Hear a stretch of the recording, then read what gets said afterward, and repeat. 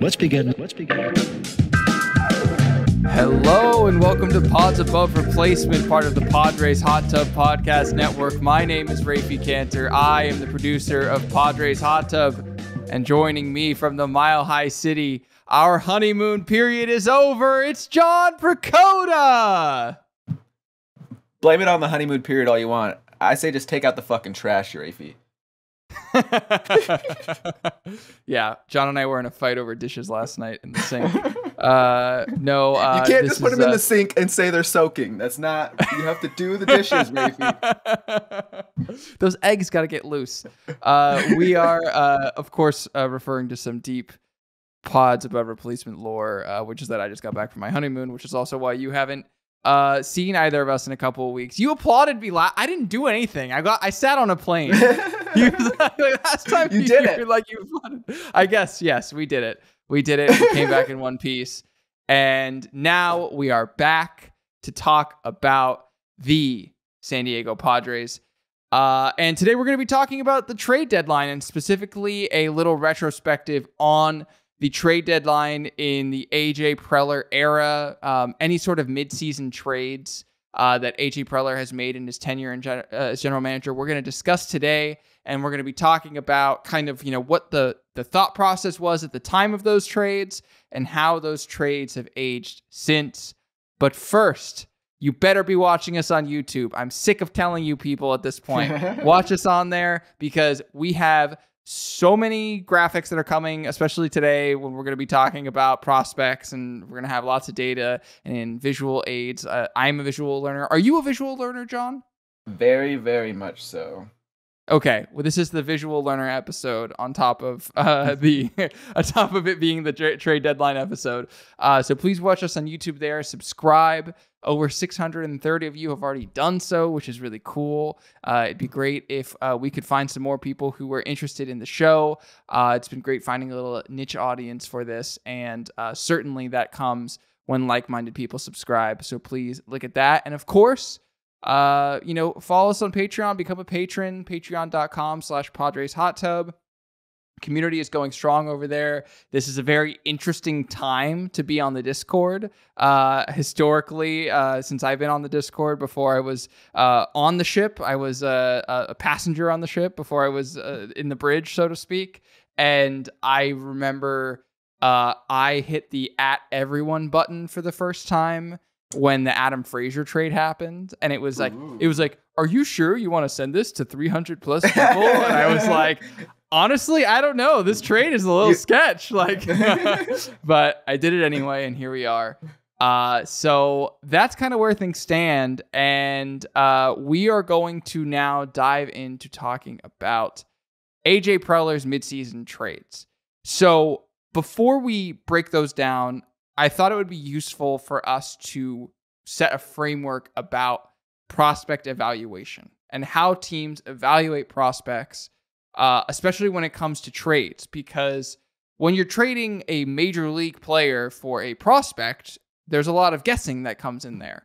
Um, and there's a few axioms that are really well laid out in a Fangraphs article from 2018 by Craig Edwards, which I will link down in the show notes or if you're on YouTube in the comments, um, uh, which is called an update to prospect valuation, and it kind of lays out the uh, the theory that Fangraphs uses. Of course, this is an fWAR podcast, so we will be subscribing to their school of thought. And uh, yeah, it basically just kind of lays out like how teams value prospects and how you know one can value a prospect and the kind of present war, quote unquote, that a prospect has, because a prospect is currently not generating you any war. That's what makes them a prospect. Uh, and, you know, basically tries to even the playing fields to figure out a way that you can evaluate what the what a prospect is worth in present war, quote unquote. Um, so uh, there are a few axioms, you know, a few kind of basic rules to follow uh, when it comes to evaluating prospects with major league talent.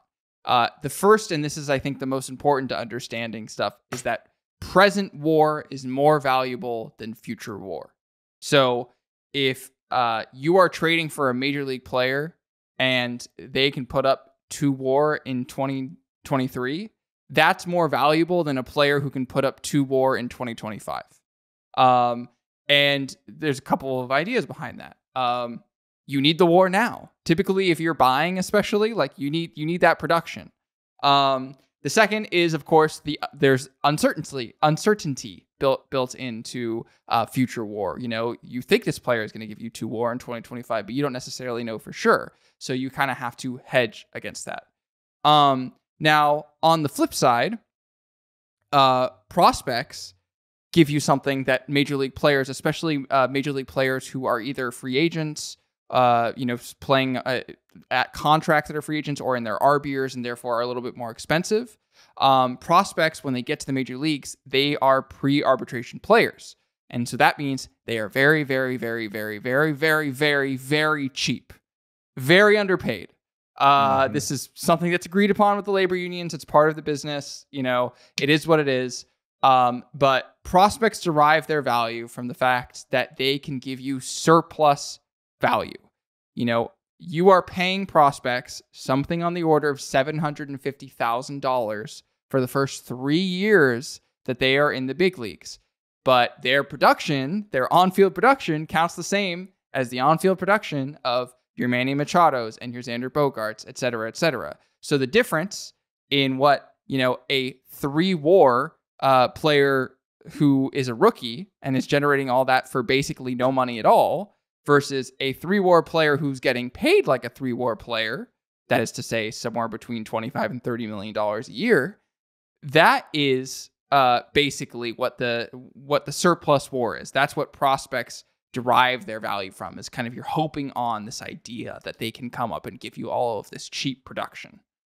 Um, and uh, basically, this presents this kind of weird thing of like, okay, we have these guys that can give us value now. And of course, the value now is more valuable than the value in the future. And there are also these prospects who cannot give us any value now. But if they do give us value in the future, it'll be super cheap. So, how do we reconcile those two things essentially? And that's the question that this article tries to answer in Fangraphs. And basically, they have assigned what they label as present day war and present day value to certain prospect grades. And what this present day war and present day value essentially tries to bake in is uncertainty and future, the discount that you have to take on future war because it's happening in the future and not now. Um, and if you're watching on YouTube, you will see on screen what we're referring to. Um, they basically are able to assign present day war and present day value to every type of prospect from a 70 grade prospect. This is the creme de la creme. This is hmm. your Vlad Guerrero Juniors. I don't even think Fernando Tatis was graded 70. I think he topped out at 65. Um, correct me if I'm wrong. Um, but it's it, it's somewhere in that order of You're right, uh, 65. 65. Overall rank number 3 and it was only 65. He was only 65. Yeah. I think it was Vlad. And then, of course, Wander Franco ended up being an 80 grade prospect, which they didn't even, it's not even in this piece because I don't think Fangraphs had graded anyone at 80 at that point. Um, so, uh, anyway, all of that's to say, if you're looking at our screen on YouTube right now, you can see how Fangraphs ranks and values all of these players. Um, to kind of put this in perspective, I've already invoked his name. Fernando Tatis Jr., like we said, uh, his current contract has an average annual value of 2.1 or sorry, 21.3 million dollars a year on his 14-year contract. This season, Fernando Tatis has already amassed 3.6 fWAR, and he's currently projected to eclipse 6 fWAR by the end of the season. That's somewhere uh, around being worth 54 to 60 million dollars in true value somewhere between nine and ten million dollars a win. But he's being paid like he's a 2.4 war player. So if he produces six war and he's only paid like a 2.4 war player, the difference between that is 3.6 fWAR. That's all surplus value. So when we say surplus, that's what we're referring to. Um, and so basically, I'm going to hand it off to you in a second, John. But, but when we have these conversations over the course of the next hour or so, that's what we're going to be talking about is like, how do you reconcile the present value of these people with their potential future value and trying to put this all into context? And this is what, like, general managers and front office people, this is what they're paid to do. This is their whole job, is when they're building rosters. It's trying to figure out how to navigate the ebbs and ebbs and flows of this. So, John, I know you also have some kind of axioms you want to set forth for this conversation. Yeah, because we, we set up this episode in a specific manner, and that manner is that Raphie is kind of the guy that goes over the trades at the time that they were done, and he has a way that he's going to go over that. You'll see, it's going to be interesting. And then I'm going to do more of a like post hoc analysis. Like after it already happened, what was the actual value that was created, at least given the data that we have so far. And just to set that up, the manner in which I did this was I did that the player value, their the money that they are worth, is a amount of Fangraphs value in terms of millions of dollars that they produced at the big at the big league level, and then subtracting the cost of their contract over those years while they were controllable. So you'll see that most of these contracts are just their first six years, the pre-arb and arbitration years, and then in a few spots gladly not a lot, but in a few spots, there's just a lot of their value is in future value. So sometimes I had to use baseball trade values to try to like get a general scope of how much more value they have going forward. But I'll take that with a grain of salt because it does seem like in order to make up for the fact that some players end up being worth a crap ton of value, like a Tatis Jr., and some are worth very little overall, um, like a Taylor Trammell they it seems like they try to go with like a median score or a yeah a median score that makes it so that like everybody seems like they're probably a little bit overranked but i think that's just because they're trying to make up for the fact that like there are outliers that make the you know mean value of it go through much higher than you would expect.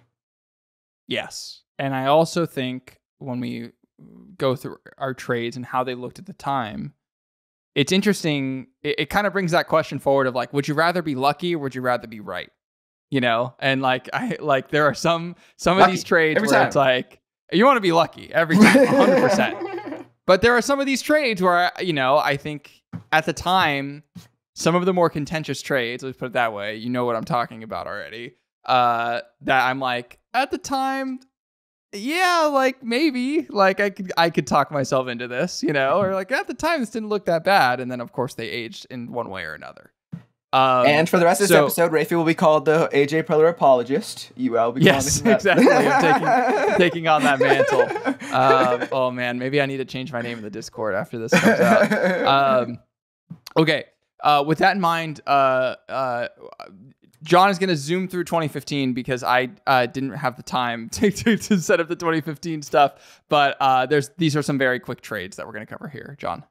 Yeah, I kind of skipped this one on my overall analysis as well, just because it was such a kind of nothing, uh, like trade deadline. Although, what's funny to think about is that on July 31st, they were actually in 2015 50 and 53. They had a 50 and 53 record, which I don't know if you know this, but that sounds uh, better than our current record. So I mean, that was a nothing trade deadline based on a very like exciting start of the year. I don't know if that reminds you of anything. But we it, ended up. It does. we were all it, very we should also say, We're recording this on Thursday after the Padres just lost to the Blue Jays. So if if we just if you're listening to this and we just swept the Tigers, like fucking a, that's great, you know. But right now Woo! we're in sad, sad land. So I'm gonna assume that we did sweep the Tigers just so I can be in a better mood. So oh yeah, we're just we just swept the Tigers. Congratulations, Padres. Um, maybe we're up to we're gonna you know on July 31st be only three games under 500 or something like that, like in 2015, the, one of the saddest years of our lives. But yeah, like I said, not much happened that year. We traded away Abraham Almonte. We traded away Will Venable, future coach. He'll be great one day. Did you know he went to Princeton and played basketball? Did you know that? Raphie, I did, did you know, know he went to actually. Princeton and played basketball? I heard that he went to Princeton and played basketball. I just heard that. but anyways, so we traded Will Venable uh, and Abraham Almonte in separate trades. The Abraham Almonte trade was to the Cleveland squad that is now known as the Guardians, and we got Marc Rzepczynski, I think is how you would pronounce that. Um, and he ended up being uh, pretty terrible for us. He had a 7.36 ERA in 14 innings, so that was just a nothing burger of a trade. And then Will Venable fetched us Jon Edwards from the Texas Rangers, and Jon Edwards put up a more respectable 3.35 ERA but his peripherals were such that he actually had a negative fWAR because his FIP was 6.04. So I mean, it was it was uh, it was a nothing trade. And you think about it in the context of this season, basically the same record as you would expect us to have, or at least very similar to one. And at that time, after having that very exciting uh, start to the season, this is kind of the season that's most similar in terms of AJ Preller's tenure. And in that particular season, he just made some small trades. He got a couple relievers for very cheap. So I don't know if that's going to be analogous to this season, but it is interesting historical reference point.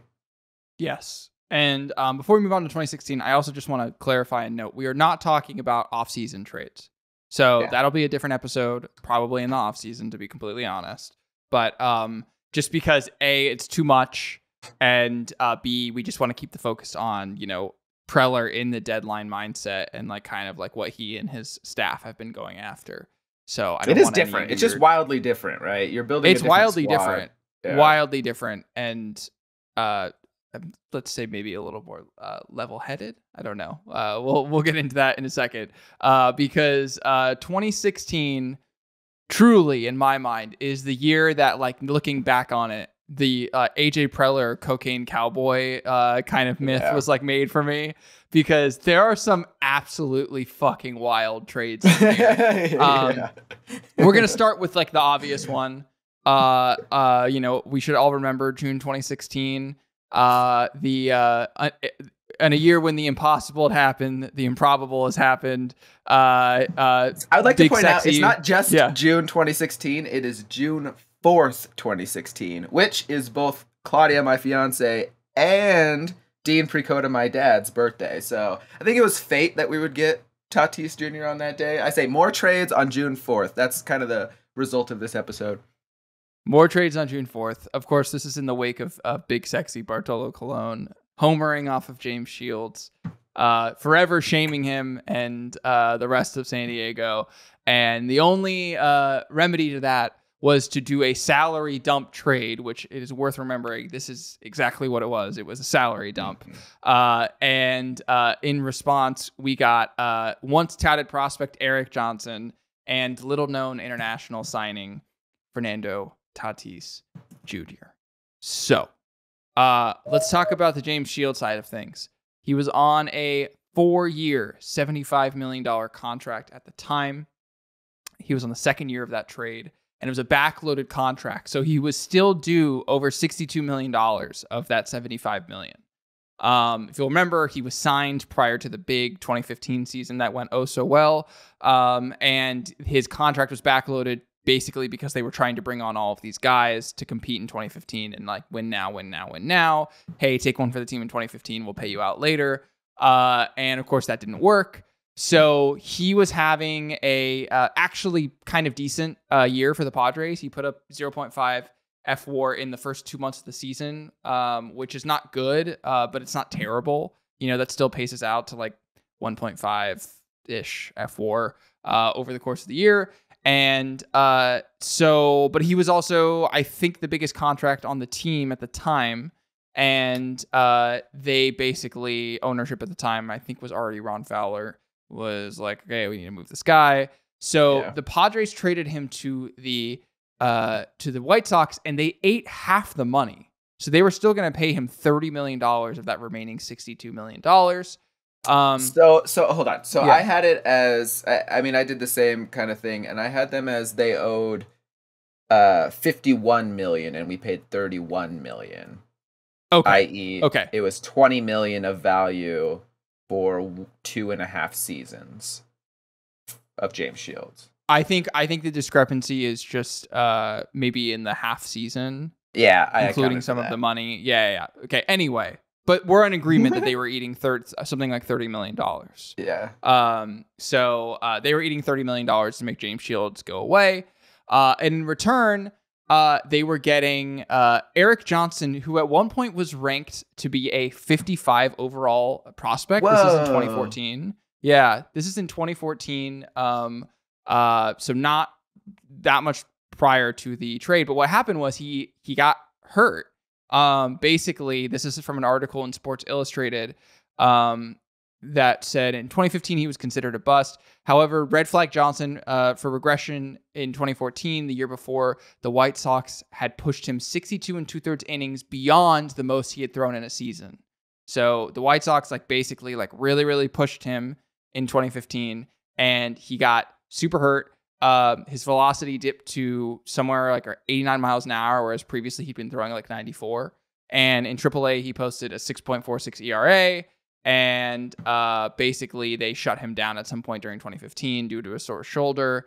And uh, it was it sucks. It's this is the kind of thing that like really sucks for prospects when you know they, they get hurt and they they just and basically he had come up to the major leagues a few times pitched a handful of innings 27 23 35 innings in uh, 2013 2014 and 2015 and was replacement level the entire time I'm just gonna Um, start like I think yeah. over the course of the episode, I'm uh, just for a reference point because like I, I said whoa when you said 55 overall, and I think it's probably good to just like say you know here's a current Padre prospect so you can kind of like do an apples to apples. So you said 55 future value, and I said whoa, and that's the reason why is because the two Padres current future values on Fangraphs at 55 are Ethan Salas and Dylan Lesko. So if you think about like Ethan Salas or Dylan Lesko having a bad season or getting hurt, and then like how far the precipitous fall can be, you know, yeah those are some of Yeah. our top prospects. and goes back to that axiom of that there's really no such thing as a pitching prospect. So um, basically, what the Padres were trading away in James Shields was uh, projected to be somewhere around.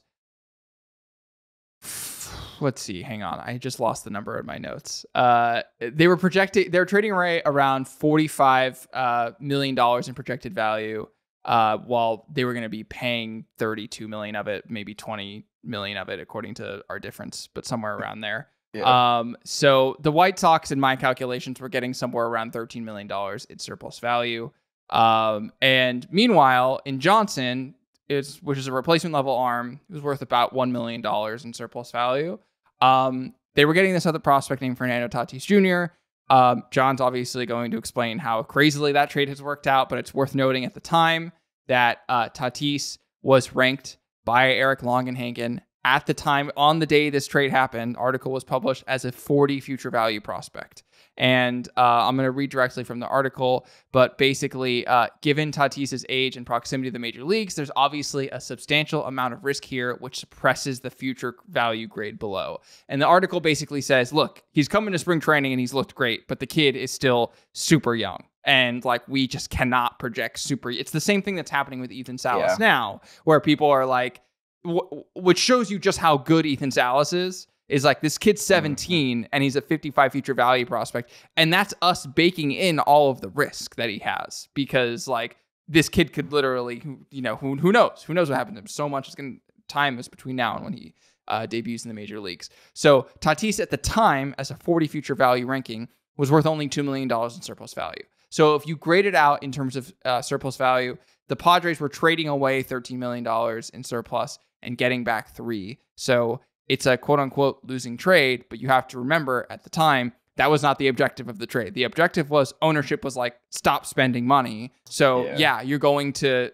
basically, they were giving James Shields away for basically nothing to make him go away and save some money on it, somewhere between 20 and 30 million dollars on him.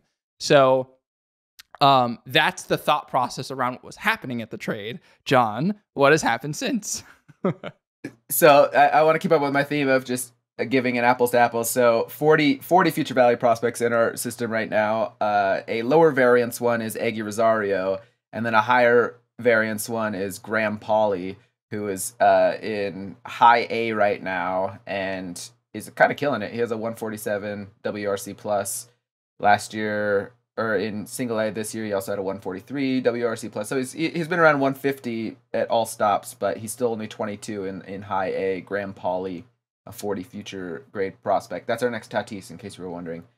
Um, so I, I just wanted to point out because I, I was able to find an article that was talking about uh, it was a Dennis Lin article that was referencing what Preller and Chris Kemp, the scouting director, were talking about when they when they saw Tatis in when he was 16 years old in the same class as Vladimir Guerrero and Juan Soto, and I mean I, I just want to express that I'm pretty damn sure that Tatis was a fun throw in. He was a lottery ticket because I mean AJ Pre- Preller at the time or yeah AJ Preller called him like he referred back to his thoughts on him in in the international signing class and called him a skinny young tryout kid, basically.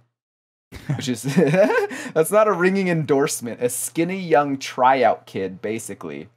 And then yeah, so they both him and, and Chris Kemp had similar evaluations. It was although Chris Kemp's was more positive.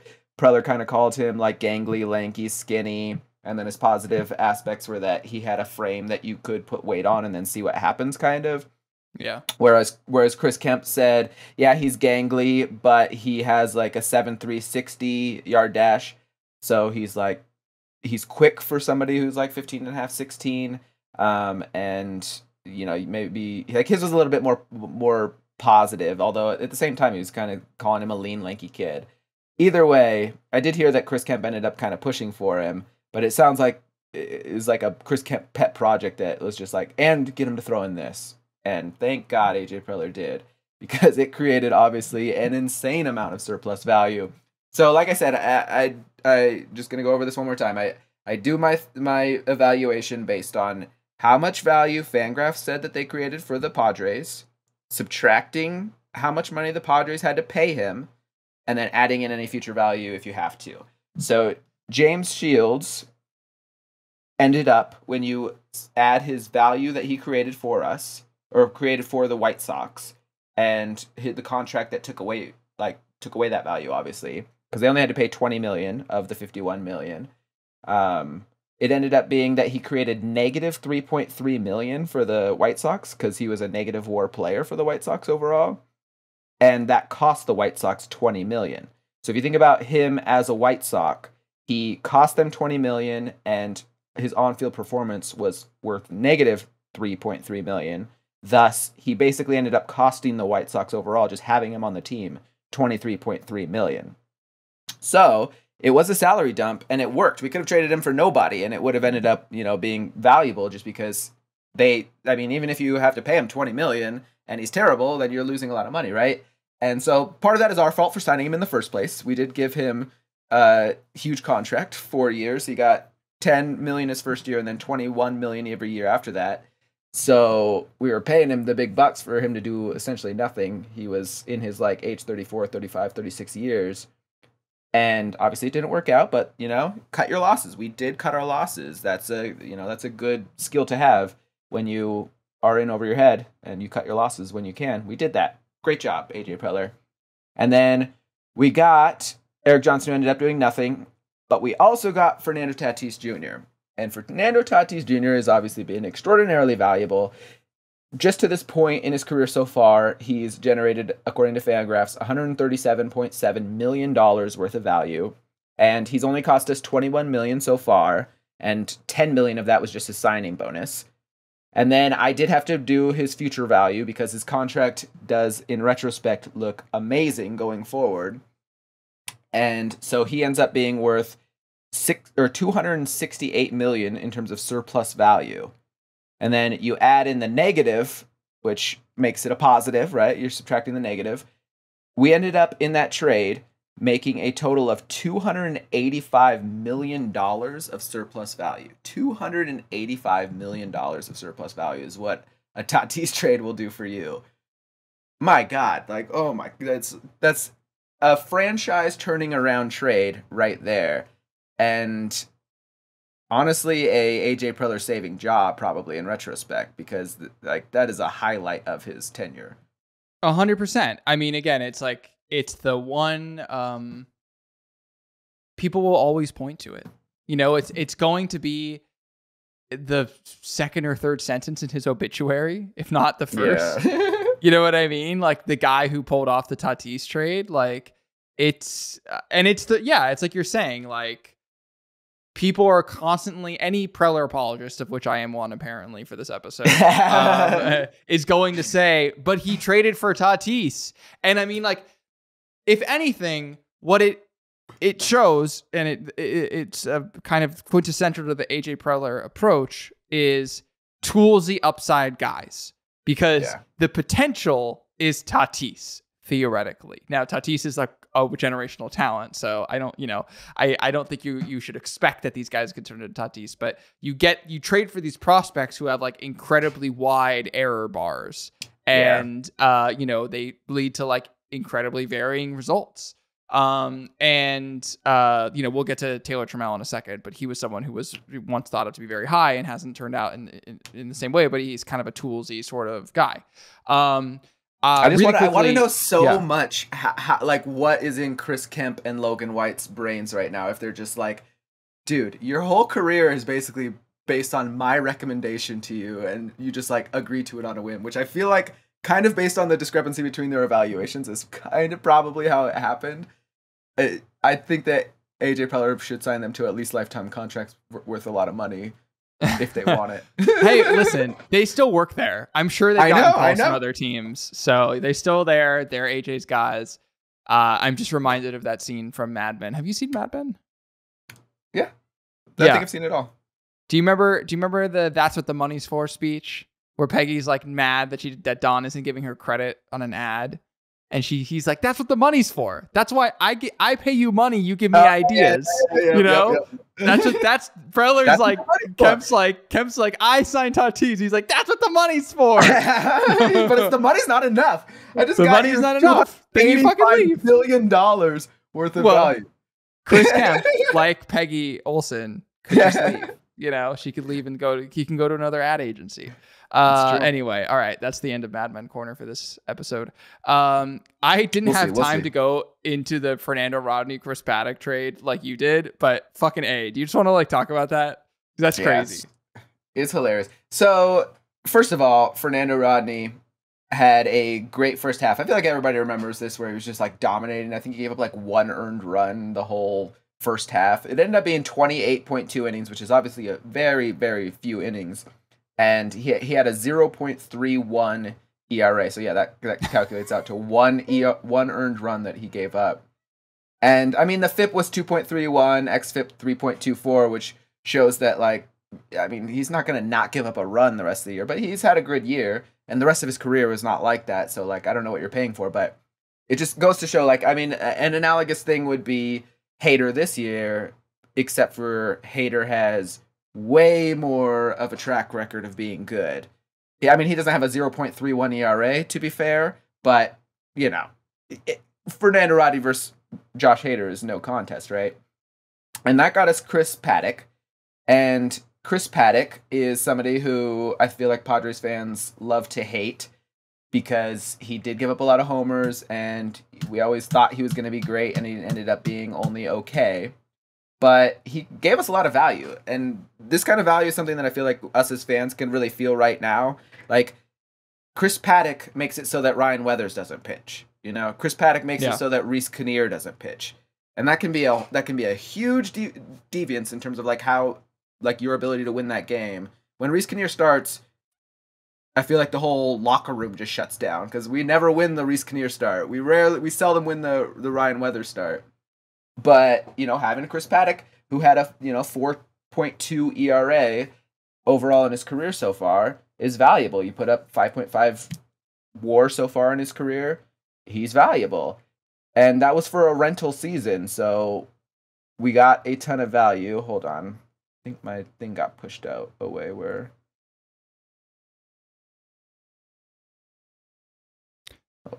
I'm just gonna uh, backfill really quickly while you're looking for your notes. Just let me know if you end up finding them. But I was able to uh, look at what Chris Paddack's prospect evaluation was at the time of this trade. okay, sweet. At, at the beginning of the 2016 season, um, he was ranked as a 50 grade future value prospect.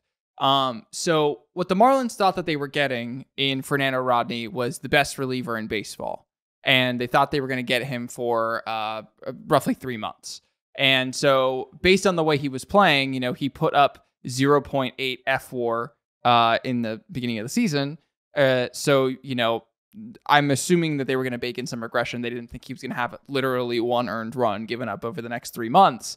Um, but assuming he puts up half of a win, um, you know, a 50 future value pitching prospect uh, is worth in present war when you're trading 0.4 yeah. present war. So this is like again, it's kind of like a a it's a really weird. I even I sometimes when I try and articulate it, it's like kind of hard for me to express. But basically, the idea is is that a 50 future value pitching prospect, given all of their risk, given the fact that they wouldn't be giving you any of their value until the future, um, all of that, et cetera, et cetera. If you basically do what Fangraphs does and tries to say, okay, if I were to be trading away, you know, this much present war, what would a 50 future value prospect be worth in return? Like that I can kind of justify it in my head and and try and equate these things. A 50 future value pitching prospect is worth about 0.4 present war. Now, when you think about again, the organizational depth chart of things, a 50 future value pitching prospect is super valuable. You know what I mean? Like that's a that's in the future a potential like regular everyday starter. Um, I think a 50 future value prospect is is generally graded by Fangraphs to be projected to be like a four starter, which it's kind of like what you're saying. It's like that avoids a Ryan Weathers start, that avoids a Reiss Knehr, you know, spot start, a Matt Waldron spot start is by having one of these guys in your org who's ready to shuttle back and forth between AAA or potentially stay in the major leagues. So um, when you look at the trade at the time, it's kind of crazy to think that like, oh my God, they're trading away six years of Chris Paddack for yeah for three months of Fernando Rodney. But then when you think about again, they don't have crystal balls like we do, and looking back on these, that actually this is about an equivalent amount of, of present war that is being given up based on these two things. Um, and that's again, this is the whole reason why rebuilding teams sell their guys. This is the whole reason. Like, because again, present war and future war are different prospects. And present war is worthless to a rebuilding team. It doesn't yeah. mean shit because it's not going to get you anywhere right now. But future war is super important. So, and future war has lots of risk baked in and it has lots of uh, potential downsides and everything like that. But th- this is why teams operate the way that they do. Um, did you find what you're looking for, or should we move on? Yeah, I found it. Uh, it got deleted, but I do remember it. So, and just just going off what you were saying was uh, 50 grade prospect. We don't actually have a 50 grade prospect in our in our system right now. But Jairo Iriarte is 45 plus, and Dylan Lesko, like I said before, was 55, which is what Chris Paddack ended up graduating with in the next offseason. Um, so right after that, he ended up being basically Dylan Lesko, but somewhere between Dylan Lesko and Jairo Iriarte at the time, which is obviously a very valuable prospect. Like if if I could offer you a second Jairo Iriarte for the rest of this season for Josh Hader, you'd probably take it. And we got that for Fernando Rodney. But okay, so what what ended up happening was, like I said, Fernando Rodney was great for us. He ended up being terrible for the Marlins. He had a five point 8.9 ERA, ended up having a negative WAR, so ended up having negative value overall. Uh, he was cheap, but he still had negative overall value for them. And then Chris Paddack has been worth $44.3 million so far. If you subtract out his contract, it ends up being about $42.5 million or so. And then he has a little bit of future value, but then he signed a contract, which makes it kind of confusing, but also, you know, he's going to be hurt and he's probably not going to provide much more value over the six years of the six controllable years that you would have had. And so either way, it ends up being that you got about somewhere like 42, 45 million positive for that Fernando Rodney trade. So we're up to 285 million for the Tatis trade and about 45 million for the Fernando Rodney trade in the same offseason. Yeah. So uh, or not off season in the same trade trade deadline. Same same midseason, yeah. Um, next up on the list is uh, Drew Pomeranz. Remember Drew Pomeranz? Um, no. Uh, Drew, Drew Pomeranz, who uh, was last seen with a uh, suitcase of cash jumping out of a plane somewhere over the Pacific Northwest, um, is uh, if you if, believe it or not, was a starting pitcher at one point and was a starting pitcher for our San Diego Padres.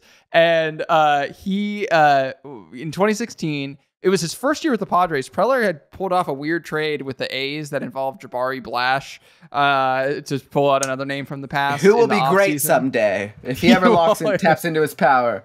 he will still be. yeah, well, this is this podcast is uh, Jabari Blash Truther Hour. Um, bring your own tinfoil. Uh, so uh, Drew Pomeranz, at the time that he was traded to the uh, Boston Red Sox on July 14th, 2016, he had two and a half years remaining of team control. And uh, at the time, you know, he was having an unbelievable season. He was an all star, if you'll remember that, for the Padres. Uh, the year that they hosted the All Star game in 2016, he put up 2.4 uh, fWAR um, for the San Diego Padres in the first half of 2016. And uh, so, kind of projecting that out, he was projected to be worth another win above replacement for the rest of 2016 and then baking in his discounted future projected war for 2017 and 2018, he was projected to be worth 2017 a, or 2.7 war in 2017 and 2.4 war in 2018. Um, that's including the future discounts. So all of that's to say, at the time of the trade, he was worth 6.1 present 2016 war. Okay. Um, and when you think about the fact that uh, he was in his arb years, he, you're essentially, if you're the Red Sox, getting those 6.1 present war at a 50% discount. Because in your first ARB year, you're basically paid somewhere between a quarter and a third of what you're going to go for on the open market. Your second ARB year, somewhere around half, and then your third ARB year, somewhere around three quarters. Uh, so you add all that up, you're getting a 50% discount on those three years.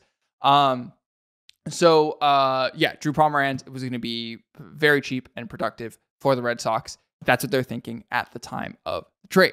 So, in response, um, the Padres got a pitching prospect named Anderson Espinoza, which, if you'll remember, it, he's still in the system, right? He came back. He came back, yeah. Yes. So he, ha- he has a uh, 6.19 ERA in AAA, in case you're wondering. He has a 6.19 ERA in AAA. But at the time, Anderson Espinoza was literally getting Pedro Martinez comparisons. Pedro and, uh, Martinez. Yes. Um, and uh, in an article that Eric Longenhagen wrote at the time of the trade, uh, basically he was given a 60 future value ranking. And uh, this is what he said about those level of prospects. 60 future value prospects usually uh, fall in the 10 to 25 range on the top 100, um, and uh, give or take a few spots depending on the strength of that year's class. Considering the height of Espinoza's ceiling, I think he belongs towards the top of that range. Now, oh, once again, putting all of this into context, a 60 future value pitching prospect, according to Fangraphs, is worth 6.7 present war.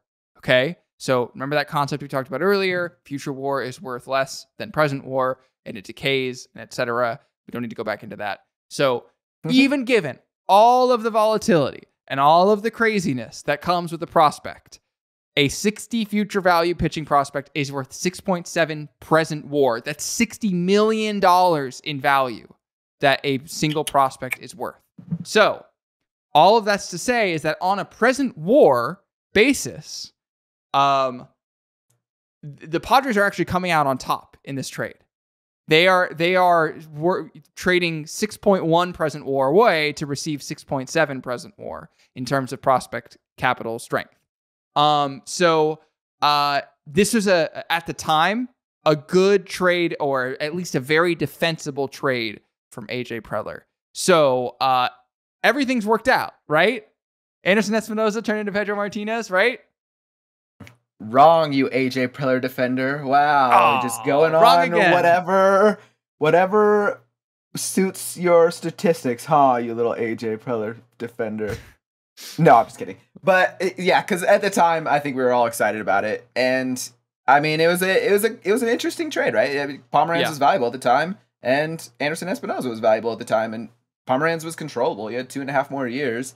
He over those two and a half years, ARB controlled only made thirteen point four million dollars in total, and he had a really good year in twenty seventeen for for Boston. Ended up having twenty three point seven million dollars worth of value just in that year alone because he was dominating.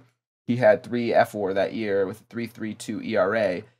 But overall, because he was only mediocre for them at the second half of the 2016 season and then was terrible in the 2018 season, Fangraphs values him as during his Red Sox tenure worth 25.4 million. And then if you subtract away the 13.4 million that he earned, he was worth about 12 million in terms of surplus value.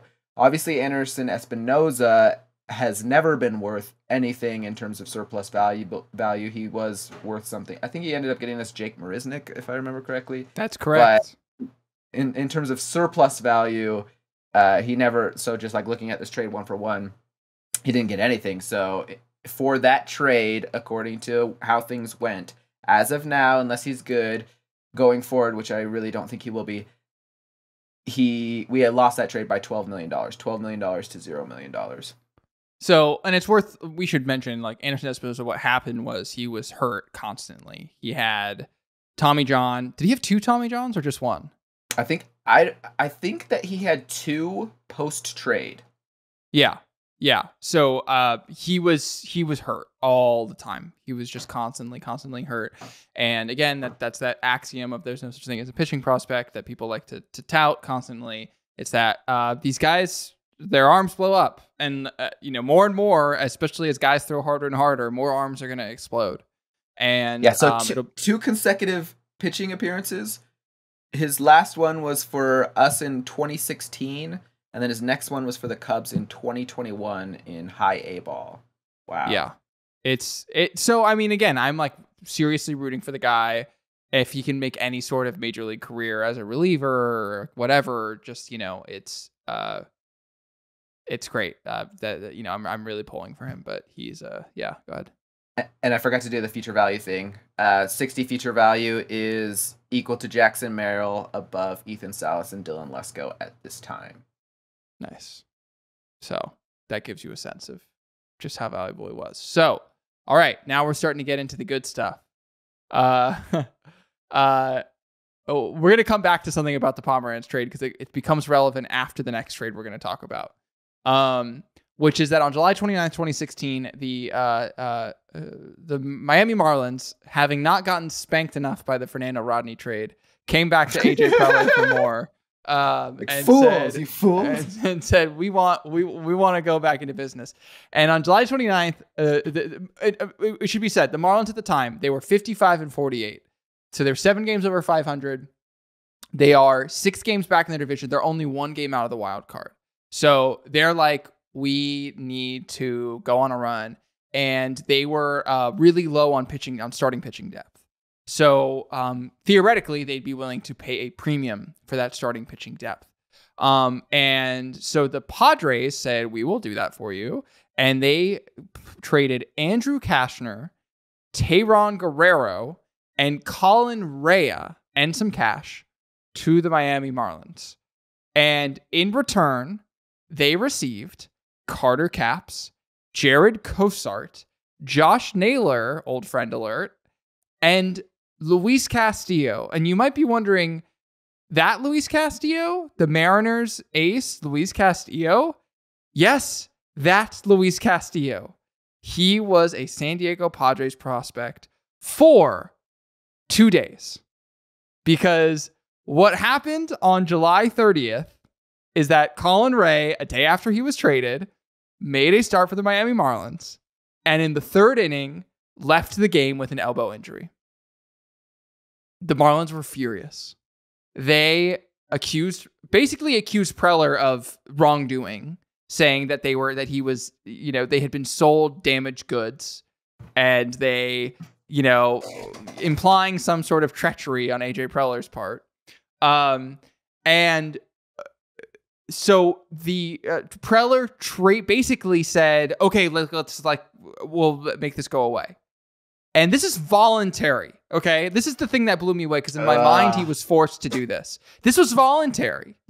They voluntarily traded Colin Rea back to the Padres after he had been injured and gave back Luis Castillo to the Marlins.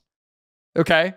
So this is what I'm talking about where I'm like this is the legend of AJ Preller is being made in this in this one season. So okay. Here's the thing. Andrew, we we just talk about the Andrew Cashner was a rental. Andrew Cashner was going to be a free agent. He had put up, uh, you know, he'd been replacement level so far in the year. He had a preseason projected of 1.5 WAR. So you know, the rest of the season, two months left. You you can say he'd be worth somewhere around half of a win that the Marlins could be getting from. But again, they're they're looking for for pitching depth. They're looking for like a four starter, and that was what Cashner was like going to be able to provide. Um, Colin Rea, uh, he was uh, had just this was he was only in his second year in the majors, and so what you were getting with him, he was a, a kind of a non prospect. He was kind he actually hadn't gotten ranked as a prospect in the in the most recent prospect evaluation before he was called up, but he was basically grading and playing like a 45 future value prospect. Um, so uh, I, I kind of tend to think of him that way um, because he still had five years of control left at the time he was theoretically traded. And Tayron Guerrero was a replacement level reliever. So, like, the Padres were trading away kind of nothing, like, kind of yeah. nothing. Um, which is like, I understand that if you're the Marlins, like, and you just need guy like warm bodies to like eat innings, like this is a trade that makes sense. Um, but uh, you know, at, at the time, uh, they traded Carter Capps to the Padres. Carter Capps was had was missing that whole year with an elbow injury, so he was going to be unavailable. Uh, but he had looked good as a reliever in 2015. Uh, he had a 1.16 ERA in 31 innings before he got and hurt. the weirdest, the weirdest delivery any of us have ever seen. He had the hop delivery, right? Yeah, he was the hop guy. Yeah. So for yeah, John, you want to explain what that was? Yeah. So at the time, I guess nobody had ever done it, so there wasn't a rule for it, I think. But it was basically like he had his foot on the rubber, so he was technically starting his windup in a legal position, and then he would do the normal, like, very long windup or very long stretch uh, extension. But then he would do a hop, which got him about another foot closer to the plate, which obviously makes all his extension data way better and overall his like pitch quality way better. And then there was a weird thing where he got hurt and then he went to the minors and then they made a rule where nobody else is allowed to do that except him. But then he was like confused on whether he was going to be allowed to do it once he got back to the MLB. And then so he started to try to pitch without it. And then he never ended up being anything. So I don't know I don't know what ended up happening in terms of like if he ever did a try for the I don't even know if he's technically allowed to do it in AAA at the time so if he was even allowed to practice it. But it ended up that he was like a novelty pitcher, and they made a ruling against the novelty that probably hurt his career. Yeah. So I got to remember him if there's ever a, a Marlins, uh, Mariners, Padres immaculate grid pick. He he played for all three teams, doing that weird little crow hop. Uh, so yeah, uh, and then Jared Cosart was also a uh, he was originally a starter and then you know kind of was hurt and bounced around or whatever, but he was you know basically replacement level. He had a he had a two WAR season for split across the Astros and the Marlins in uh, 2014, but basically did nothing outside of that. Um, and then Josh Naylor uh, at the time he was ranked as a 50 value prospect he had uh, just been drafted um, and he was coming out of Canada. And basically, the the scouting report was, uh, you know, his ceiling was ranked as a regular first baseman. His floor was a platoon power off the bench. This is from uh, a scouting report uh, from Baseball Prospectus, and they called him Naylor is a bad body first baseman with power and hitting tools you can't teach. Uh, That's fat which, shaming. That is absolutely fat shaming. We do not agree with that on this podcast, but it, it, it is it is the sort of old school. It's just that kind of like weird gray period where we still had kind of old school scouting in 2016. There are someone guys would be like, he's a bad body first baseman with power and hitting tools you just can't teach. Uh, which is like, I guess, I guess what I was trying to say was that like he's a first baseman or DH. I don't know why you had to throw in the bad body, but okay. Yeah, I don't know. Um, but uh, whatever. I don't know what weird shit was happening back then. Uh, anyway, he was a 50 uh, value prospect. This is not ranked by Fangraphs. There wasn't a Fangraph ranking at the time. Um, but I'm just going to use the equivalent and say that that's worth about 3.1 present war. That's what a, few, a 50 future value prospect is worth. Um, Luis Castillo, however, he was kind of originally projected to be a relief pitcher because he only had a fastball and a slider, and then he had a changeup that he had just introduced. But all of the scouts were like, "This dude telegraphs his changeup like every time, and it's not going to develop." Uh, spoiler alert, it fucking did. Uh, but um, very much did. But uh, and so he got his kind of first really good scouting report uh, right before this trade, and this scouting report happened on May 2016 and he his fastball was sitting 97 to 99 slider uh, was uh, ranked as 60 overall future grade slider. It was sitting 82 84 changeup sitting 87 89 um, and he was given a 60 overall ranking by this prospect or by this uh, scout um, in may of 2016 and once again it's worth remembering a 60 future value prospect. That's what anderson espinoza was ranked as uh, and that's six worth six point seven present war. So again, again, this is this is a perfect example of like the range of stuff we get. You have yeah. 260 future value prospects. One of them turns into literally Luis Castillo, and then the other turns into a guy who never does anything. And like that's that's what we're dealing with when we're trying to make these guesses.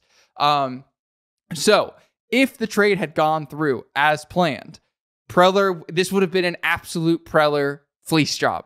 Okay. We would have been giving away 1.0 present war in exchange for 9.8 present war. Okay. That is so insanely imbalanced.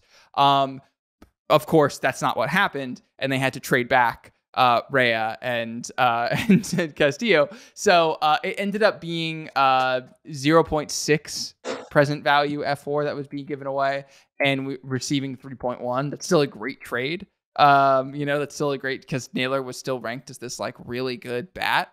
Uh, but it uh is not what it could be. And uh, the, the by the way, before I hand it over to you to talk about this trade, this is what's important about this trade and why I said the Pomeranz trade is going to come back.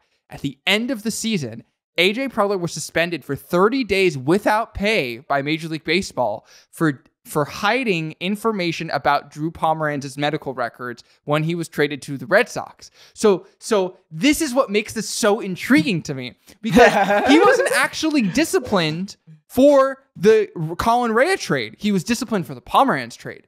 But I think he was doing something sketchy in the Rea trade because why would he agree to trade it back yeah, for Luis nobody fucking would, Castillo? Nobody would agree. Yeah, He's no, like, oh no, out no, of the kindness okay. of his own heart. It's okay, it's okay. Don't worry, we'll trade it back. Uh, you know, it, literally, you have to go back and read it. Preller says something like along the lines of like, "Oh, we just wanted to make it right" or something like that. Or you're like, "Are you fucking serious? Like, we are in, we are in major. Welcome to the major leagues, baby. We're playing hardball. you don't do like good deals for friends. Yeah, like, here you go. We were, yeah, we exactly. Just for so. future trades, we're gonna give you somebody who's could be great for nothing, for a guy anyway. with a current Tommy John injury. Oh my god. Yeah. What the anyway. hell? You so know, I want to know that story. I want to know that story so bad. Like, what yeah. the fuck happened?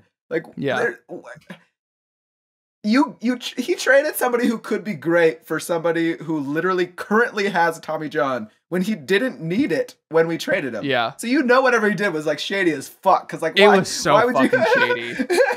why this, would you do? So there's insane. no way you would agree to that trade unless it was like his job was on the line. So let's find out, podcast fans, how much AJ Preller's job is worth it to Padres. Okay, let's get it into this trade.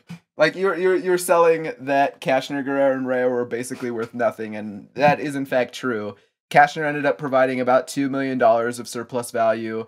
Guerrero was negative six point four million because he had negative WAR, which is uh, I mean part of partly the teams who had him's fault for playing him in the first place. So I don't know whether you should include that, but I did anyway. So Tayron Guerrero ended up being worth negative 6.4 million and Colin Rea ended up being worth 1.3 million, which at in total we gave them negative 3.1 million which when we as padres fans go oh everybody we trade for at the deadline ends up being terrible for us and we you know that sucks there's a lot of instances that i saw through this like going through all these trades where the other team also got nothing at all when they were trying to like shore up their depth or whatever.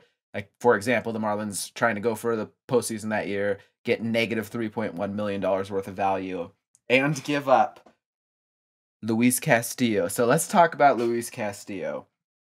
Luis Castillo has been worth during his. I, I only did the years that he would have been controllable for us because he did sign a like a a contract with Seattle afterwards. I'm not counting that at all. I'm just saying during the years in which he would have played for us, if we would have had him, the six years uh, pre ARB and then ARB, he generated 145.5 million dollars worth of Fangraphs value based on his WAR, and then was paid 13.2 million, which adds up to 132.3 million dollars of surplus value. 132.3 million dollars of surplus value, which I will call an amount that is almost half of a Tatis. That is half of a Tatis worth of excess value, which is obviously a lot of surplus value. And then he got Josh Naylor. Josh Naylor is one of these ones where I have to rely on the baseball trade values for some of his value. He's already generated $26.5 million and was paid $7.9 million. So he's already been an excess value of nearly $20 million. But he does have a value going forward that baseball trade values, which, you know, take it with a grain of salt, but whatever, they regard him as worth about two, $22.1 million of surplus value um, if you do my whole calculation as a whole, he's worth $42.8 million in surplus value. Jared Cosart was worth 2 million, whatever. So that ends up being that we got in that trade $176.9 million of surplus value, and we traded away negative 3.1 surplus value, which gives us about $180 million total of surplus value. $180 million of surplus value is an insane amount of surplus value. Not quite a Fernando Tatis trade, but in the same order of magnitude. But then, right after the trade deadline, we had to give back the Colin Rea for Castillo trade. And that ended up being a $132.3 million worth of surplus value for zero surplus value now because he didn't make that one start for the for the Marlins, which ended up being a 0.2 four start. It was actually a good start. He had no earned runs allowed over 3.1 innings, I think, before his his UCL snapped, and even his FIP was great. So like he ended up being worth what I think it was like 1.2 million, 1.3 million in that start alone. The one that he broke his UCL on and then so you take that away from us, the 132.3 million. Now we're only 47.7 million dollars in surplus value, which is still a lot, but oh my god, it seems like for some shady shit that AJ Preller was doing, we literally traded 132.3 million dollars for 0 million dollars. Is he worth 132.3 million dollars in your hearts? Fans, you decide for yourself. Well, um, we're gonna uh, that that's the last trade of, of 2016 that we're gonna talk about. Uh, so in 2017 and 2018, there were some sort of kind of nothing trades. Hold on. Uh, yeah. What, one thing I, I just wanted to add it all up because we, we also tra- traded Kemp for Olive- Olivera, I guess his name was, uh, just as a salary dump in 2016. Yeah. Um, and Kemp was terrible, so it ended up being worth 17.9 million dollars in terms of Padres savings. Just trust my math on that one or don't. But that's what I calculated it as being. And so that means that in the 2016 offseason, we because all of these happened in the same season. We're still talking about the same offseason, which is crazy. Mid-season. Uh, those all, all oh sorry, same trade deadline. Um we ended up va- getting 382.4 million dollars in surplus value all in this one trade deadline and it would have been over 500 million if the Castillo trade actually happened. Um, fucking crazy. Well, you know, yeah, again, crazy, AJ Preller, yeah. AJ Preller, cocaine cowboy is uh, he killed it that, that, year. Yeah, he really did. Um, and also, again, if you know we want to have an overall Preller conversation, he's a good rebuilding GM because like he it knows as though he is. He knows everyone's dudes better than they know their dudes. And like that's such an asset to have. The trouble is we're not rebuilding anymore. So anyway, that's we don't need to get started on that. Um, a, a secondary thing to that is that it seems like you need a lot of lottery tickets because when you when you're selecting based on people who could someday be great, like a Fernando Tatis Jr. or Luis Castillo. I mean, Luis Castillo. When I was talking about uh, prospect evaluations before, I said like you probably don't want to spend a lot of money on somebody who hasn't shown that they can spin a baseball. And Luis Castillo never showed that he could spin a baseball and he just developed that changeup out of nowhere, but that nobody was expecting, and that's what caused his value to soar. I mean, I think it was just pure luck, but like if if you're valuing these like skills overall, then you probably need a lot of lottery tickets. So not only do we need a chance, like I don't I don't know if he's great at evaluating prospects, but he's great if you give him like a hundred shots. Like he's great at having three of those turn out. Yeah. to be really good. Yeah. Um, 2017 and 2018, the only trade that I want to talk about is the Brad Hands Francisco Mejia trade. Um, do you want to just quickly speed through any of that stuff? I mean, what did you have on it? Um, well, uh, at the time, um, you know, I was just reading through a Fangraphs article that was written about the trade contemporaneously, and everyone was like, "This is a huge price that the uh, at the time Cleveland Indians are paying for Ed, for Adam Cimber and Brad Hand. That Francisco Mejia was uh, in the yeah. most recent prospect update at the time of that was graded by Eric Longenhagen as being a 60 future value prospect uh, as a position player, which again is worth something around 6.1 uh, present war. Uh, or uh, $55 million in terms of 2018 dollars whenever that article was written, uh, which is also the same year this trade happened. Uh, so uh, and Brad Hand at the time, you know, was putting up about 1.5 year fWAR a year as a reliever. Um, so with two and a half years left of control at the time he was traded, uh, you know, you can say that okay, you know, that's worth somewhere along four WAR. Um, so you know, yeah. with Adam Cimber baked in, uh, it's a pretty kind of even-ish trade. But you could even maybe argue that at the time the Padres were coming out on top um, and interest in terms of like present war prospect to current value, et cetera, et cetera, translation. Um, and I don't believe that that's how the trade played out. I think it played no. out a little bit more in Cleveland's favor. It was close. It was. It, I think it's a. It's a fair. You know, sometimes like it rolls the wrong way, but it was. It was fair. So I, I had Brad Hand as being worth over the next few years thirteen point five million dollars in excess value, and then Adam Cimber as 4.5 million, Mejia as 11.7 million. It ended up being that the Guardians had a win of about six million dollars, which it seems like that was just like, you know, Mejia wasn't quite as good as we thought, and you know, six six million is not a huge loss. It's just that was a fair gamble, I think. I do want to talk real quick about one thing that I thought just was really interesting from like a historical perspective. We did also trade Phil Hughes and because he had a bad contract basically we had to pay him 7.25 million dollars to provide us negative 2 million worth of value in order to get a competitive b balance uh, a competitive balance b draft pick.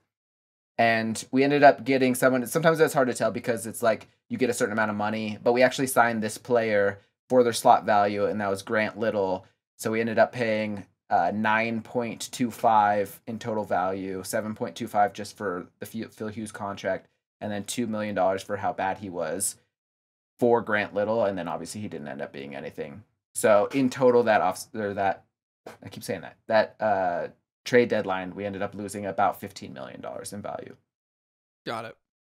Um, 2019, um, I didn't do anything for this trade. Um, we can talk about the Trammell trade if you want. Um, up to you. Yeah, I'll just go choice. real quick through it. So, okay, cool. so this is the this is this is the year of uh bad reliever evaluations, I think, because we traded away or we traded for Matt Wisler, who was like our like a huge prospect for us before, and I think he was part of the like Max Fried deal for Upton.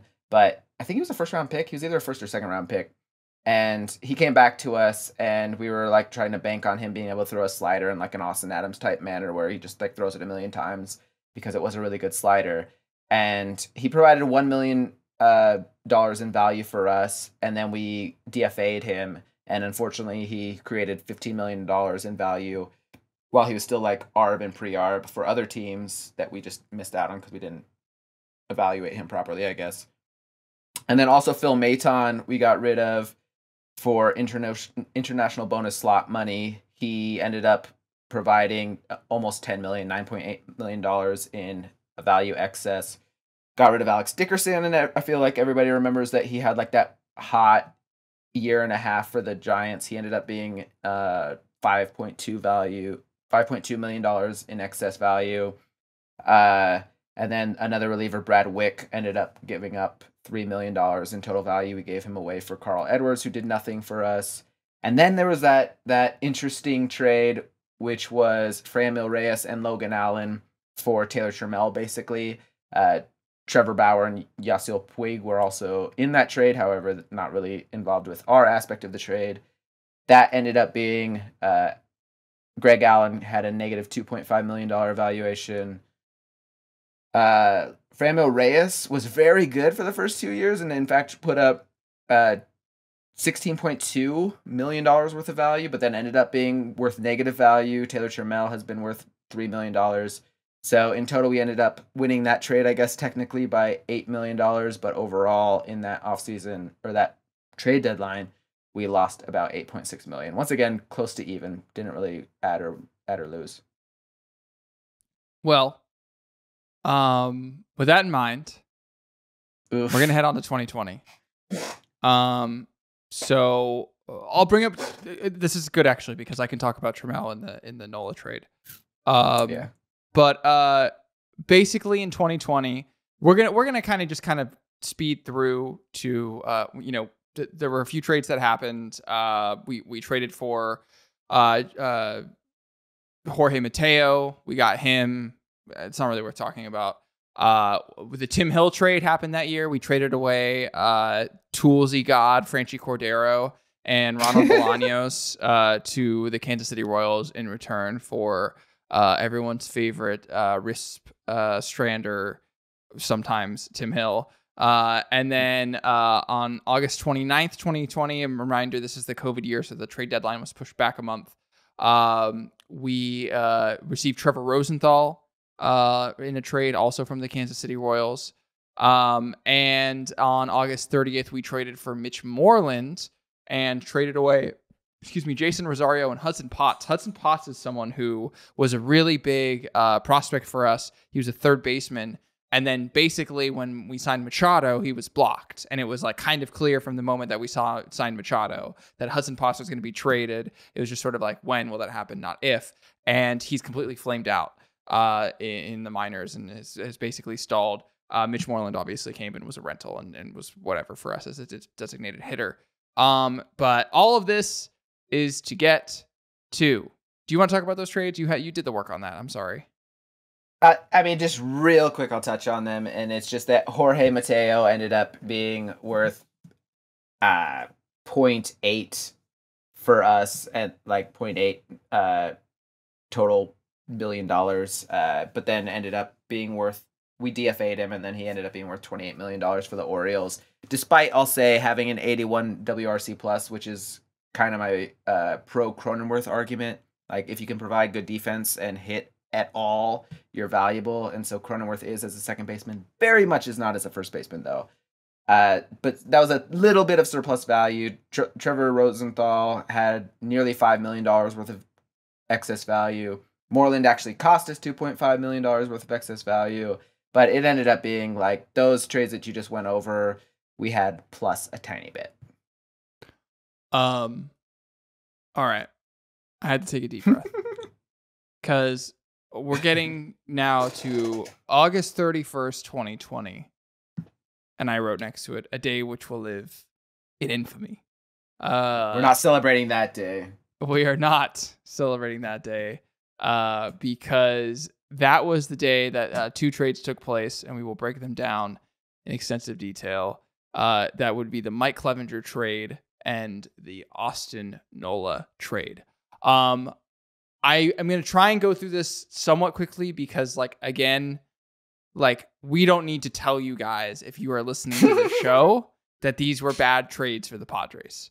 Um, I think the methodology behind them is super interesting. Um, and uh, I think especially when looking at it through this present war lens, um, you know, it's really easy to forget that Mike Clevinger, um, you know, may he rest in piss, uh, uh, at the time of the trade was seen as uh, like a, a dude. He was a top 15, top 20 pitcher in baseball. And we were in desperate need of that at the time. Um, and, uh, you know, he was basically projected to not only come over and give us about half of a war in just a month, um, but also uh, he was projected to put up, you know, 3.3 fWAR in 2021 and 3.0 in 2022, uh, baking in the future discount. Um, doing the math, like John said, trust us on this. Um, at the time of the trade, he was worth 6.2 present war, which is a lot. That's a lot. Um, that's Yeah. like a 60 future value tr- player, as we were as we were talking about. Uh, and then on top of that, we were also getting Greg Allen, who was, um, if you remember, San Diego native, uh, was supposed to be like our fourth out, like our true fourth outfielder, like a guy who was like going to be here to like fill in depth, can play center field, et cetera, et cetera. Um, and so at the time of that trade, he was worth somewhere around 1.3 present war value, not because he was going to put up 1.3 war in a year, but because he was going to put up like 0.6, 0.7 over the course of like four years. So baking in future discounts and everything like that. Um, the total amount of uh, present war that we were trading for was 7.5. Um, our package that we sent away consisted of current player Austin Hedges, current player and recent prospect uh, Cal Quantrill, Josh Naylor, and then straight up prospects uh, Owen Miller, Gabriel Arias, and Joey Cantillo. Um, and just to kind of go through it, uh, Austin Hedges was obviously a known entity at that point. He had been with the Padres for several seasons. Um, and, uh, you know, again, my chicken scratch math, trust me or don't. Uh, he was worth about 2.5 present war, given the fact that he had several years of control left at the time that he was traded. Um, and it remains to be said, was still a very valuable player with all the defense he was putting up, you know, despite how painful he was uh, to watch at the plate. Uh, and then for all the other guys, I kind of just put what their their most recent prospect evals were because like Josh Naylor had basically only had a cup of coffee with the major league team. Same goes for Cal Quantrill. He had come and played in 2019. He tech- those two guys technically weren't prospects anymore, but they still had five years left of control. So uh, most recent evaluation was as a 50 overall. That's worth 3.1 present WAR. Um, Cal Quantrill had fallen mightily in the prospect rankings. Uh, mind you, he was a first round pick uh, for us at one point. Uh, and at the time of his graduation, he was all the way down to a 40 future valuation uh, and was our 27th overall prospect. And I think, John, you had pulled a comparison of what a 40 future value pitcher is as your background falls behind you. Uh, Oh no! yeah. no, leave it in. Leave it in. Let's go. If you, the people who are watching on YouTube got a got a nice little visual gag. 40, 40 future value prospects are like Jackson Wolf right now, Henry Williams, who was like the post uh, Tommy John guy that we got in the third round, and then Noel Vela, Jagger Haynes, like those kinds of guys. Um. So yeah. So not a huge, huge piece that he was once considered to be. Um. Joey Cantillo was really young at the time of this trade. He was a 45 uh, future value prospect at the time. Um. And was kind of his stock would seem to be rising. He of course uh had went on to this year representing uh Cleveland in the futures game. Um, he's still ranked as a as a 40 future value prospect according to this year's uh, preseason reports. Um, but he is having a great year in the minor league so far. Uh, so you know he was worth 0.4 present WAR at the time of the trade. Gabriel Arias uh, was a middle infield depth piece. Same goes for Owen Miller.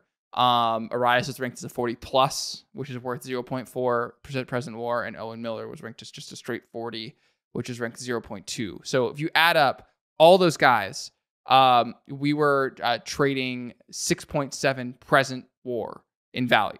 So again, that's not an egregious, like technically, like we're kind of coming out on top. You know, if you want to look at it by it's 7.5 versus 6.7, it's kind of a wash. Um, it's a lot of depth, uh, which is why this trade is so significant. Is like we cleaned out a lot of our, you know, uh, when we're thinking about, you know, guys like Matthew Batten coming out, you know, like to come and take take over middle infield spots or uh, fill in at third base one day. That's because Owen Miller isn't there. That's because Gabriel Arias isn't there. Um, it's because we traded him away in the in those things. So it, it still is significant. But if you're just looking at the present war at the time of the trade, it was about a wash. Um, how has it turned out though, John? Poorly. In 1997, August 31st, Diana, Princess of Wales, died in a car crash, and I still think I still think this might be the worst August 31st that I've lived through. So uh, I'm not going to do the evaluation for every single player, but I'll say that Quantrill has been worth, it seems, about $31.8 million in surplus value. Naylor, a lot of, like half of this almost is uh, based on projections going forward, but he is currently $44.8 million in excess value.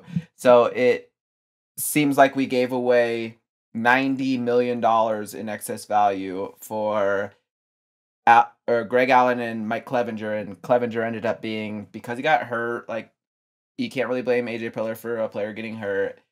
He ended up being worth actually negative 3.3 million in terms of value because he, we paid him 12.6 million dollars and he only gave us 9.3 million dollars mm. worth of value.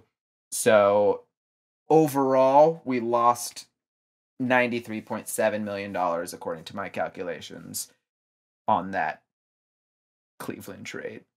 So, yeah, again, it just goes to show you that something seems like a good idea at the time. You can't control the outcome. This is just one of those terrible examples where it just went the worst way for the Padres in a way that was completely uncontrollable to them and to AJ Preller for that matter.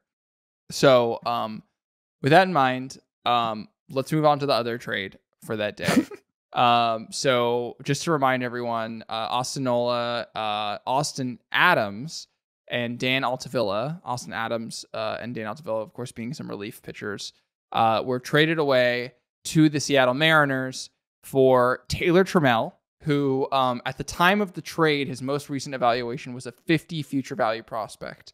Um, of course, we had received Trammell the year before, as as John had mentioned in that three team trade, and uh, you know at his height, Taylor Trammell was a 60 future value prospect. So to get again, that's Jackson Merrill, that's James Wood. Those guys are 60 future value prospects. Trammell was seen in that light.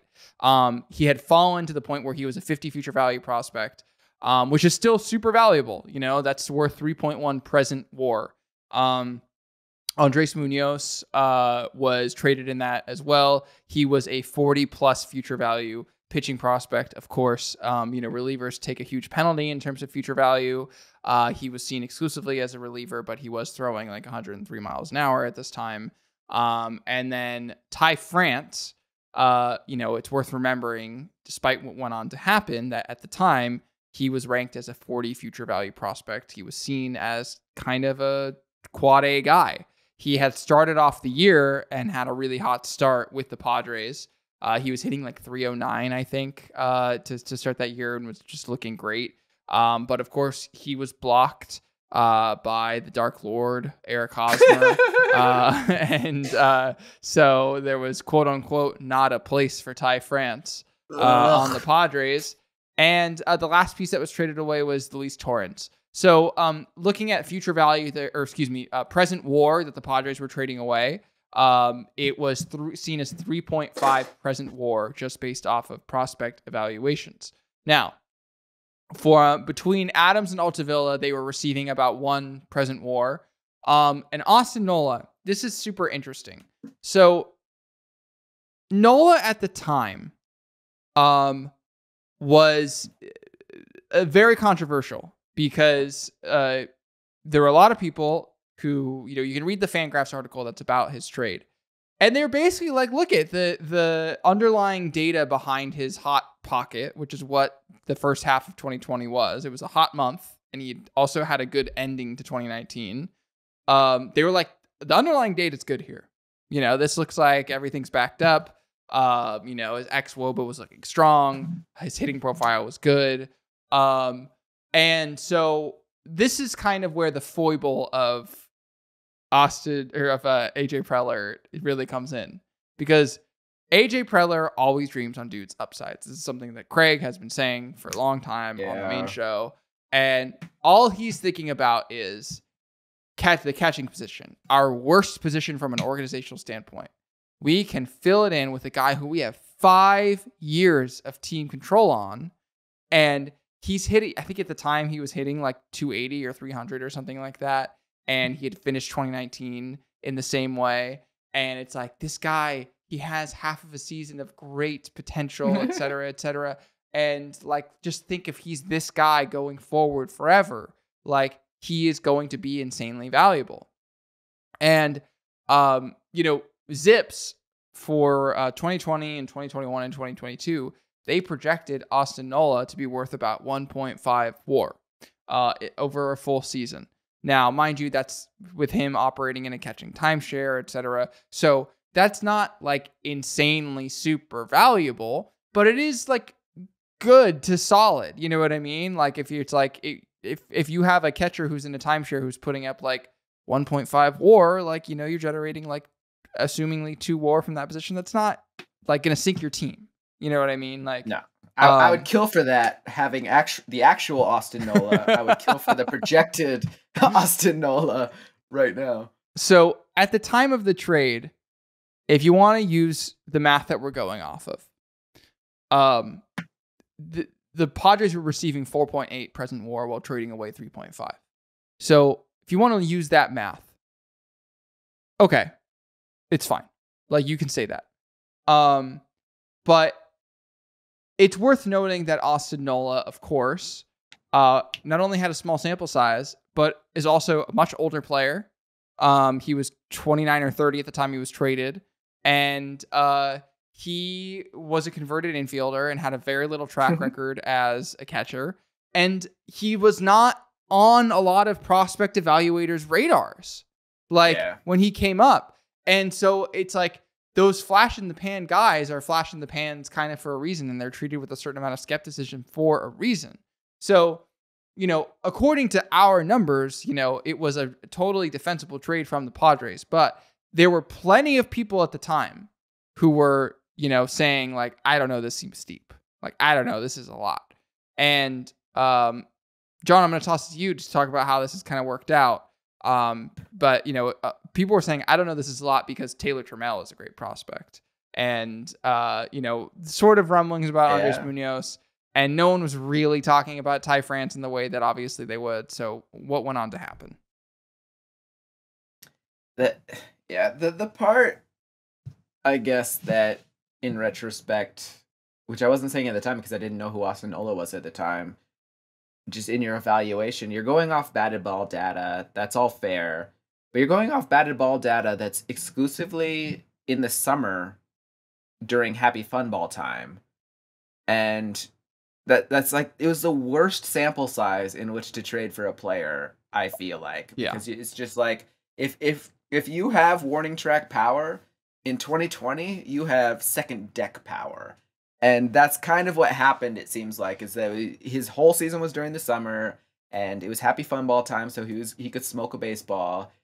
And then I mean, how would you guess that I mean you, you could guess that the season wouldn't be all summer because it won't be going forward. But you couldn't guess that they would change the ball, and it does seem like he has warning track power at best.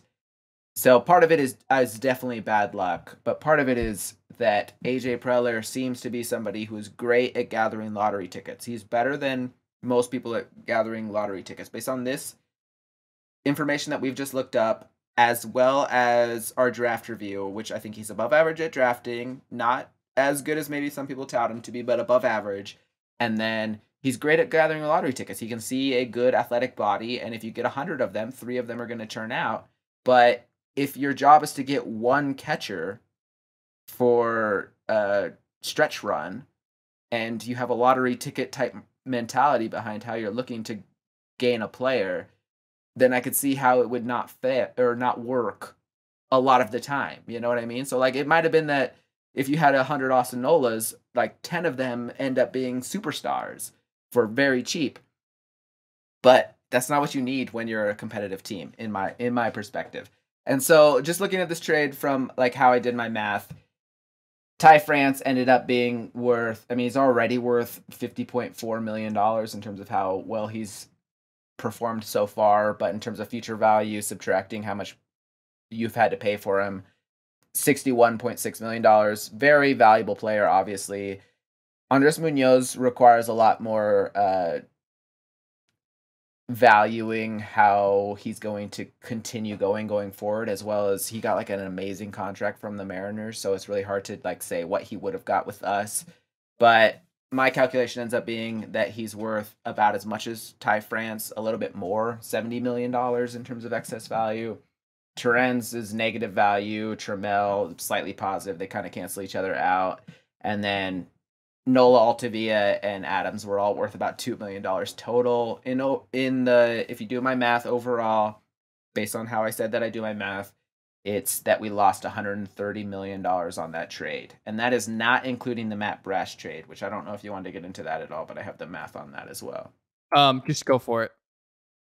Yeah, so so so far he's provided fourteen point five million dollars excess value and projecting going forward another thirty, which makes forty five million dollars. Which means those two trades, which I feel like a lot of people get confused on, like kind of mix match them up because they happen at the same time and were technically separate deals, but with the same team. In total, that deal ended up being worth about negative one hundred and seventy five million dollars. For sure.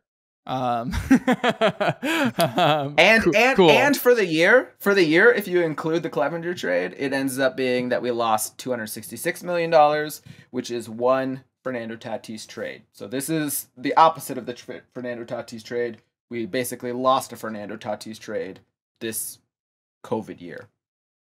Yeah. Well, uh, you know, again, it's that axiom of being at the casino. If you uh, you leave with even money, you won. You should have quit. Yeah. He should have quit during the Luis Castillo yeah, exactly. trade, and he would have been the greatest GM of all time. Exactly. If he had just left on July 30th of 2016, it would have been perfect. Um, so 2021, uh, I, I di- didn't. Th- there's not really anything interesting from like a future value standpoint. I'm gonna save that for the Soto trade. So if you want to speed through anything up until the Soto trade, please be my guest. Yeah, uh, 2021, we are 61 and 47 at the time at the trade deadline. So buyers, we trade Marcano and Suwinski for Frazier was kind of the major trade. Um, we, we, we lost on the Marisnick and Thompson trades overall, but I, I I'll just give you the math overall the real big loss was that Suwinski has provided kind of $64 million in excess value. A lot of that is projections going forward, but even if you don't include those, if he doesn't do anything going forward, he's already made the Pirates $31 million in excess value. Overall, if you include projections, we lost about $60 million that year. Well, that's not ideal. Um, so... And we went over the tax for it. We went over the tax for oh, right. to lose 61. um, so let's move on to 2022. Um, you know, there were some really interesting trades this year. Um, you know, talking about the Paddack Pagan to uh, trading for Rogers and Brent Rooker. Uh, you know, that's an interesting trade. Obviously, there was the Hader trade as well.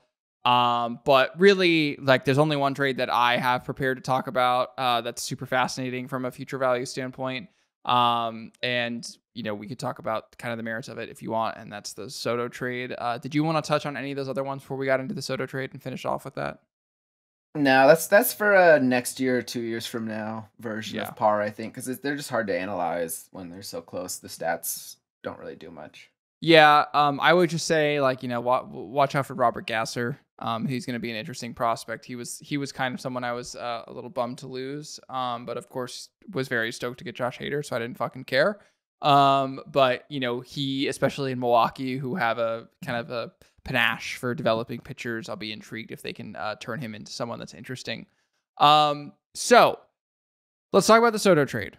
Um, this is where I think the uh, culmination of everything we've talked about in terms of assigning present war to future prospects.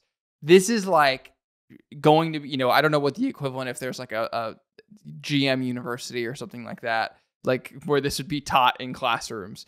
but this trade is going to be taught in classrooms as kind of a um, uh, the realization of this idea because um, we're gonna just kind of break down who was traded for what. But uh, this is so, this is super cool. When I did this map, I was like, oh my god, this is like so awesome. This has worked out. So, um, as a refresher for everyone, not that you need to be reminded, uh, Juan Soto and Josh Bell uh, were traded to the Padres for uh, James Wood, Robert Hassell III, C.J. Abrams, and Mackenzie Gore. So, uh, Juan Soto's uh, ZiPS projections. He was uh, traded in the middle of uh, the year. He had two months left on the year. Uh, he was projected for about six WAR that year. So just prorating that, he would have projected to put up about two WAR in the remaining two months of the season. Um, on top of that, in 2023 and 2024, at the time, he was also projected to put up six point WAR, 6.6 WAR in each of those seasons. However, um, as we've mentioned, present WAR is more valuable than future WAR. And so the way that Fangraphs decays future WAR um, is basically uh, by saying, you know, uh, the the next year you you you tax someone eight percent. You basically take their their future WAR for the next year and say, okay, ninety two percent of that is what the is what uh, it's worth in the present value. And then if you wanted to do two years from now, you'd say, okay, what's ninety two percent squared? And then you tax it you tax them that much. And then it goes on and on and on and on in that way to the point where you know if you're predicting five six years down the road your your future WAR is like super heavily taxed because there's so much uncertainty and everything that's baked in there. Um so anyway baking in the the future value tax for Juan Soto we can say that at the time of his trade he was worth 13.7 present WAR. Um Josh Bell um, at the time, he had put up 2.5 fWAR so far uh, in uh, Washington that season. So you could say he's probably worth about one win uh, coming over. So that means that we were trading for 14.7 present WAR. Now, at the time of the trade, the marquee player going over from a prospect evaluation standpoint was CJ Abrams. CJ Abrams was ranked as a 60 future value prospect. Um, that is worth 6.1 present WAR. Uh, Robert Hassell was ranked as a 50 position player prospect. That is worth 3.1 WAR. James Wood, at the time, his stock quickly rose, but at the time, he was also considered a 50 future value prospect. Um, that put him also at 3.1 present WAR. And finally, Mackenzie Gore, who had pitched half of a season with the Padres, but you know, for all intents and purposes, I still want to treat him like a prospect. Um, he was ranked most recently as a 50 future value pitching prospect, and that is worth 2.3 present WAR. So, in total, we traded away in prospect capital 14.6 present WAR. Now, if you remember what I just said in terms of what we were receiving from Soto and Bell, we were receiving 14.7 present WAR. So, this is what I was talking about a few minutes ago. This is so fucking cool to me as a nerd to say, okay, this is kind of how you can see how these two sides sort of justify yeah. the trade from each of their sides. And they say, okay, this is how much Juan Soto's worth to us right now. And Josh Bell's worth to us right now. We put that together. What would that cost in prospect capital? And it's literally what was traded. It's literally what was traded. And so, and again, like, who knows what's going to happen with Juan Soto this year? He's currently trending a little bit under his, uh, you know, preseason ZiPS ranks, but not by much. He's still going to eclipse five WAR at least. Super valuable. Um, Josh Bell obviously didn't work out the way that it did, and it's worth mentioning, like C.J. Abrams. Uh, you know, we'll see. Um, he, he's, we'll see. Robert Hassell, we'll see. Um, James Wood, he quickly climbed to a 60 future value prospect and is now a top five prospect universally consensus in baseball. And he could end up being the player that really hurts from this deal. Um, but I just found this whole thing. I'm so glad we're ending on the Soto trade from that perspective because it's like it is the culmination, the realization of every all the ideas we were talking about in this in trying to you know reconcile present value of prospects for future value and major league players. So that's all I have to say on that, John. It makes me a little bit suspicious as to whether that's literally what goes into it. You know, like, do they have similar evaluations and are like, I mean, because you all have your proprietary information. I feel like you'd want to present information that is available to more people so that they could look it up. And then if it were me, I would want to have my own evaluations, which are, which are separate from the like my proprietary evaluations are separate from like the widely known evaluations. Because this does look like an almost exactly even trade from something that you or I would look up, which seems like a fair like ask from yeah. you. And you might have different evaluations, but like it seems like a fair ask, right? I do wonder if that if that comes into play. I bet it does on account of I've seen GMs refer to baseball trade values as something they look at, which is like that shows me which GMs do not have proprietary information that's very good. The fact that they're like double checking on baseball trade values, like I, I, I think. Anyways, like that's uh, yeah. But anyways, so yeah, so I have Juan Soto has been worth thirteen point six million dollars in terms of excess value, and then worth fifty million dollars going forward, which is obviously a lot of money. However, James Wood has really shot through like the prospect evaluation going forward, and it makes it so that him plus Abrams plus Gore Hassell's actually fallen a lot, but still overall they're up a little bit. It has it overall that they are actually plus 122 million, but once again, this is like this is the trade that I would say the most is just very recent and based on prospect evaluations more than any other trade at all. So this is like a hugely wide standard deviation, probably as high as the number itself, which is 122 million. But it does seem like we probably have lost that trade overall, which is something you expect when you're trying to trade for somebody who's providing you value for a season going into the playoffs and then uh, during your open window. Although 122 million dollars is a high tax with which to pay for it. Yeah. Partially that's because James Wood has jumped a lot and Juan Soto has played probably at like 40th percentile of his outcomes. Not terribly, but like maybe not more than you would expect, especially last season at the end of the year. But in like a conclusion of this, it seems like there's a huge discrepancy in terms of AJ Preller's ability to generate value for his team overall when he's selling versus when he's buying. I think that we can both agree that the the negatives are hugely negative and the positives are hugely positive, which is probably the case when you're a G- GM that makes splashy moves, you know? If you make a ton of moves while you're selling and selling on average makes more value per sell, which it does, then those moves are likely to generate more value overall. However, if you're making huge splashy moves when you're buying, when buying tends to come with a tax, then you're you're much more likely to lose a lot of money, which he has a, like every single year that he's been buying, he's lost a lot of money. And in fairness to AJ Preller, overall, he has actually, according to my calculations, been almost two hundred million dollars in uh like excess. Like he's had per, like product productivity of $200 million in terms of his trades.